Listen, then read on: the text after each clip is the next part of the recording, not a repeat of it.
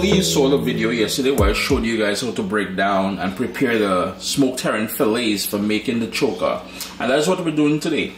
I knew, I grew up knowing this as just a smoked herring. I know some people call it smoked herring choka or smoked herring choka.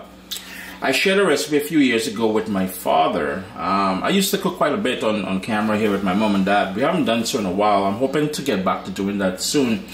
But in that version, we used entire the entire smoked herring and we broke it down and he roasted it and, and we went through the different steps. In this version here, we are using the fillets that I showed you guys how to do yesterday, which has already been prepared here. So we've got the fillets, I've got some scotch bonnet pepper, and the thing about the scotch bonnet pepper, I cut it up into large pieces. This is a large one. I like it spicy, but you don't have to. You can obviously cut back. You don't need to, to use the seeds or the white membrane and the seeds. That's where most of the heat is going to be. But again, totally optional, yeah? I've got uh, a large scallion. Some of you call it green onion, spring onion. In, in Trinidad and Tobago, we call it chive. I've got two Roma tomatoes diced up. I tried to remove most of the seeds. It hardly had any seeds anyways. I've got a thinly sliced onion, and that's a medium onion. I like a lot of onion in here. Some parsley. We're gonna need some black pepper, and I have two cloves of garlic. Additionally, we'll need about four tablespoons of olive oil to pull it all together. We'll start with the scallion. Got that scotch bonnet pepper. And again, totally optional, but if you like heat, and, and you know, I like the heat in this, it just adds that little, mmm, makes it worth my while. Then the tomato, and what I did, I diced it as I mentioned there, and I tried my best to remove most of the seeds. Fresh ground black pepper. And I want a couple cloves of crushed garlic in there. I like to crush the garlic in my little press because I get nice little pieces. If you like sliced garlic, or if you want to crush it even finer, you can do that as well. Before we add the onion, I like to mix everything. And you know, one of the reasons I like cutting the pepper into big pieces, because the pepper is red the tomato is red, by cutting it this way, people can identify whoever is eating whether they want to chew into that pepper or not, and they can set it aside, you know what I mean?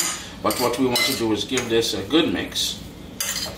We're not adding any salt to this because that smoked herring will have a sort of a salty element to it. But at the end, after you add the garlic, you I mean after you add the onion and we temper it with the hot oil or what we call chunkay, you can go in and taste it and add a bit of salt if you wanted to. But yo, just look at that niceness now.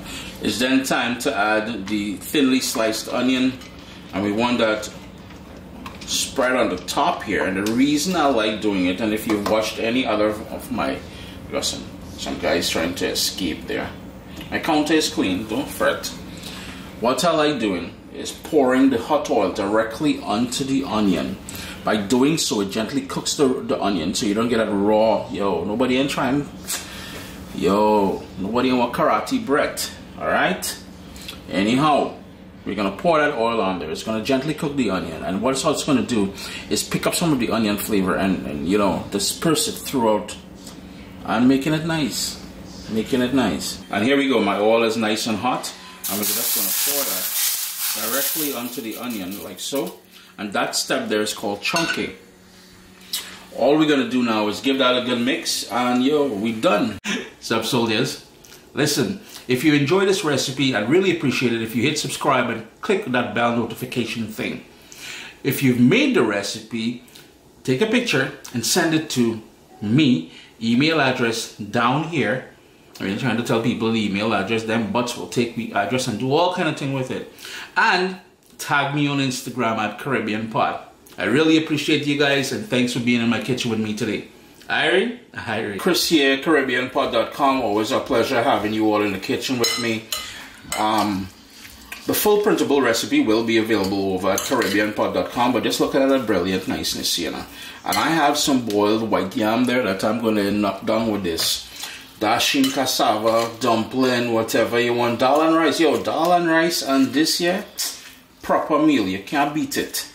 Anyhow, all those things I spoke about, those recipes like dal and rice, and head over to CaribbeanPot.com. But just look at that now. Just look. Oh, all you followed me?